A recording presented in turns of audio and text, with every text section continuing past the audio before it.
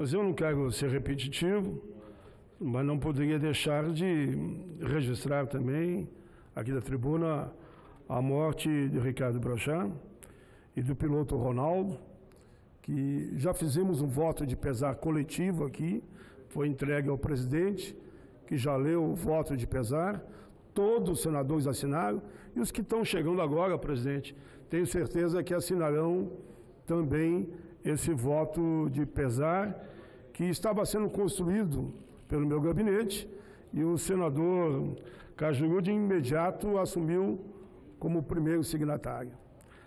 Mas, senhor presidente, eu gostaria apenas, como uma forma também de mostrar o meu carinho pelo querido Ricardo Brechá que perdemos, ler só um pedacinho aqui do currículo dele que está em todos, em toda a imprensa.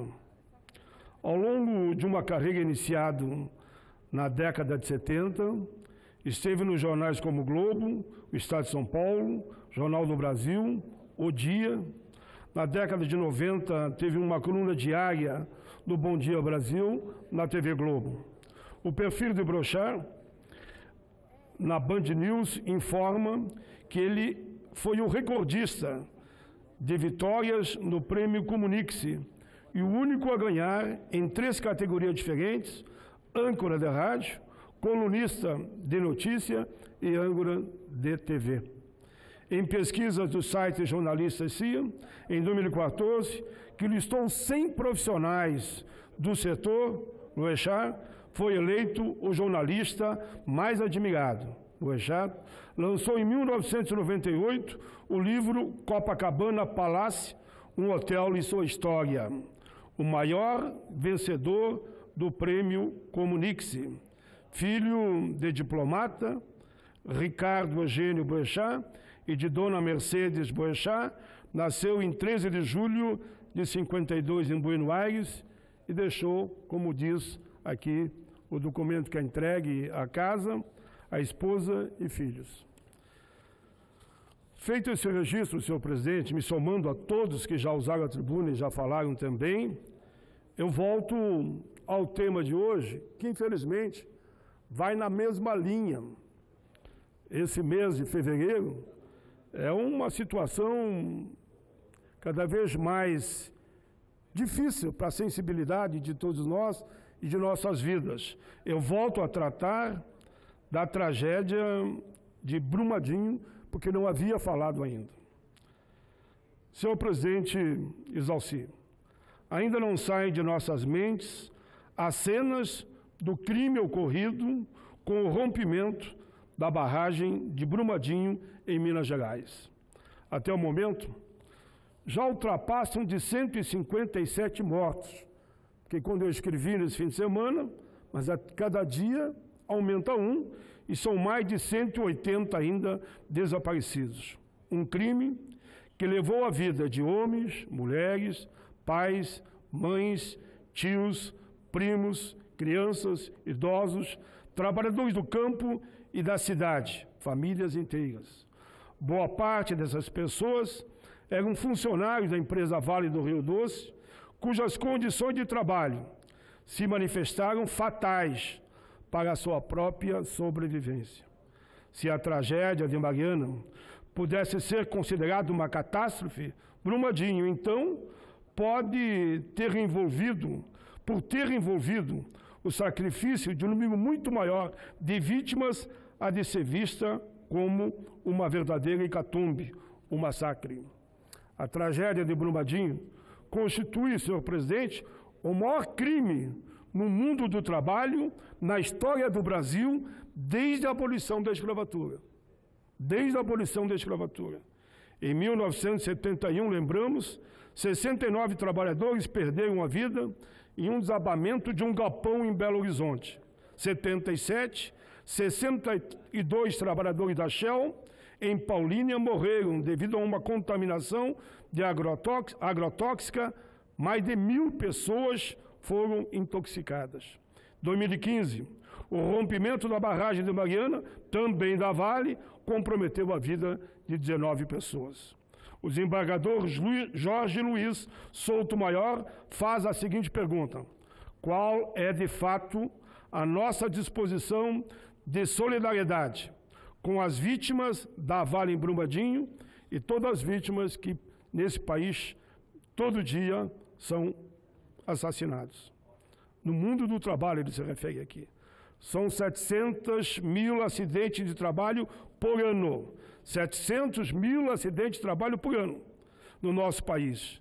Estamos na quarta posição do mundo em mortes por acidente de trabalho. Mas, pelo outro lado, somos a oitava economia do mundo. E somos o país que tem, fica entre os cinco da maior concentração de renda. A pergunta que não quer calar é: por que essas tragédias, como essa das barragens e outros, acontecem no mundo do trabalho aqui no nosso país? Ora, porque o Brasil, repito, é a quinta, é o quinto país do mundo em concentração de renda e oitavo em economia. É claro que a ganância é que constrói todo esse, terrível cenário. O lucro, para eles, é o principal e a finalidade, nem que para isso pessoas e vidas sejam levadas à morte. Não podemos esquecer que a reforma trabalhista ampliou a precarização de direitos. Está representando um sofrimento no trabalho, angústia e tristeza. No caso da tragédia de Brumadinho, por que, que eu lembro aqui da reforma trabalhista e vou dizer aonde está a preocupação? O impacto foi enorme, pois rebaixou a condição de cidadania do nosso povo. E vou ao fato agora.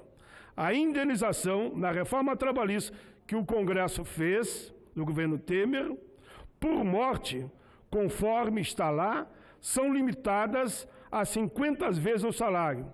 Aí vou dar um exemplo. Lá, nesse massacre que houve, um trabalhador que ganha um salário mínimo, a família vai receber 50 vezes, dá 998 mil.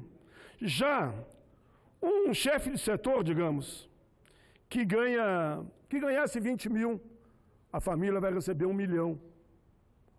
Então, a morte, no mesmo acidente, no mesmo fato e na mesma empresa, alguém vai receber 49.900 e o outro vai receber um milhão. A vida não tem preço. Ambos estavam prestando serviço àquela empresa. Por que, que o trabalhador simples, a família recebe 50 mil e o supervisor da área, como é o caso que eu dei o exemplo, vai receber um milhão de reais? Tudo isso é para a gente refletir, pensar e como ajustar aqui na casa que faz as leis. Essa tragédia não pode ser esquecida. Se faltou fiscalização, que se apure. A justiça tem que ir a fundo, encontrar os responsáveis e puni-los com a radicalidade da lei, doa quem doer. Uma frase que eu uso muito aqui quando falo em investigação, denúncia, eu sempre digo: investiguem todos e doa quem doer, vai ter que responder pelos seus atos. Lembro com tristeza a tragédia da Boate Kiss, Santa Maria, lá no meu Rio Grande do Sul. Estivemos lá, eu, senador Simon, senador Zambiase, vimos no ginásio 242 corpos de jovens ali e os familiares a chorar. Pois bem, até hoje as famílias esperam justiça. Não aconteceu nada. Notícias dão conta de que outras barragens estão na mesma situação lá em Minas Gerais, inclusive com alarme sirene tocando. Calcule os senhores, se nós morássemos lá, com nossos filhos, família, e a sirene toca. Pegamos as crianças, vamos correndo morro acima, como diz o outro, né? Pegar a parte mais alta. Lá por duas vezes as sirenes tocaram depois daquela oportunidade. Mais de 500 pessoas tiveram que sair correndo em suas casas em três comunidades. Barão de Cocais, na região central de Minas, por conta do alerta na barragem sul superior da mina Congo Soco, também da Vale do Rio Doce. Calcule o desespero, a agonia, ninguém merece isto. É um trauma que vão levar. Tudo isso pela ganância, pela cobiça irresponsáveis daqueles que só querem lucrar, lucrar e lucrar. E não entende que a humanidade caminha, caminha numa estrada longa da vida e quer viver, envelhecer com dignidade e não sofrer verdadeiros atentados como esse. Dou um exemplo. A Vale do Rio Doce foi vendida pelo governo, governo do Brasil, nem vou dizer a época, que não importa, embora foi lá atrás, foi vendida por 3 bilhões de, de reais. Hoje, ela vale mais de 300 bilhões. A pergunta é que fica, mas quantas mortes mesmo a privatização da Vale causou? 200 pessoas? 300? 400? 500? Não sabemos, porque ainda estão buscando os mortos que ficaram naquele crime que aconteceu. Eu repito aqui, que falei outro dia, nunca me empolguei muito com CPIs, não. Não sou daquele que diz todo momento, todo momento, CPI para cá, CPI para cá. Quem me conhece aqui sabe. Nunca fiz parte de nenhuma CPI. Nenhuma. Nenhuma. Mas nesse caso, eu já assinei quatro. Só acho que devemos criar apenas uma e que seja mista, Câmara e Senado.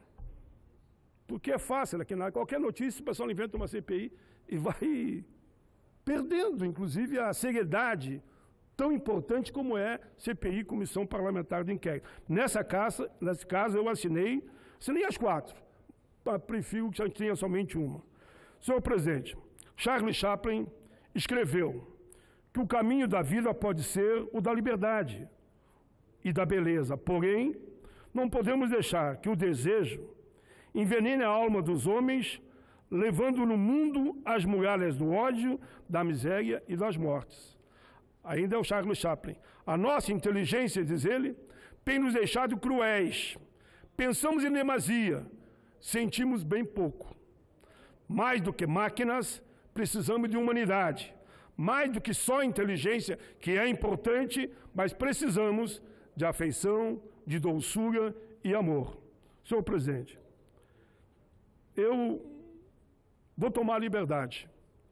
E aí, senador Cajuru e todos, eu sei que vão concordar. Eu quero que Vossa Excelência tire um minuto do meu tempo e a gente fazer um minuto de silêncio a todas as vítimas, desde o querido Ricardo que foi, que aconteceram nesse período que nós estamos convivendo aqui.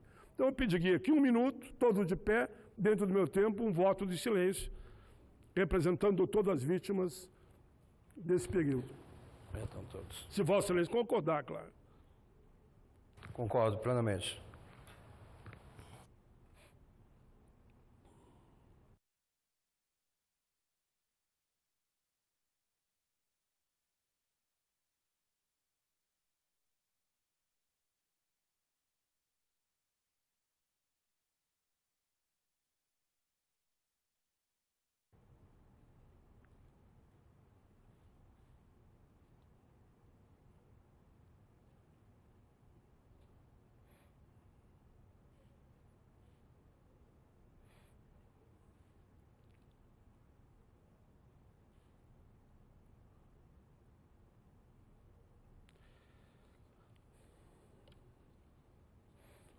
Senhor presidente, esse minuto foi toda um, uma forma de solidariedade a todos aqueles que eu citei e também a seis pessoas que morreram devido às últimas tempestades no Rio de Janeiro e os dez jovens que morreram no incêndio do Centro de Treinamento do Flamengo, que Vossa Excelência foi o primeiro a falar aqui na última sexta-feira.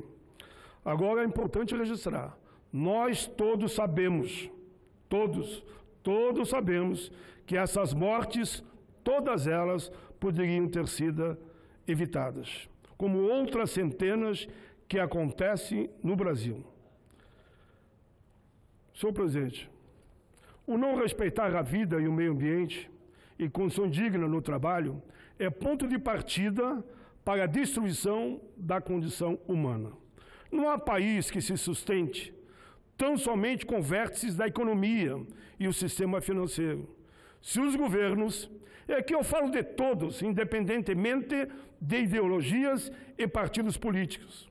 Se os governos, todos, deixarem de fora os aspectos humanistas, a melhoria da vida das pessoas, se eles, os governos, se intimidarem pela força e a ganância do mercado ou daquele que só visa o lucro, podem ter certeza que esse país estará fadado ao fracasso. O seu povo percorrerá os descaminhos da injustiça e das crueldades. Nós não queremos, nós não aceitamos, nós não podemos permitir que isso aconteça jamais, jamais e jamais. Este deve ser um compromisso, este deve ser um compromisso daqueles que amam a vida, a liberdade, a justiça e a democracia. É isso, presidente. Obrigado.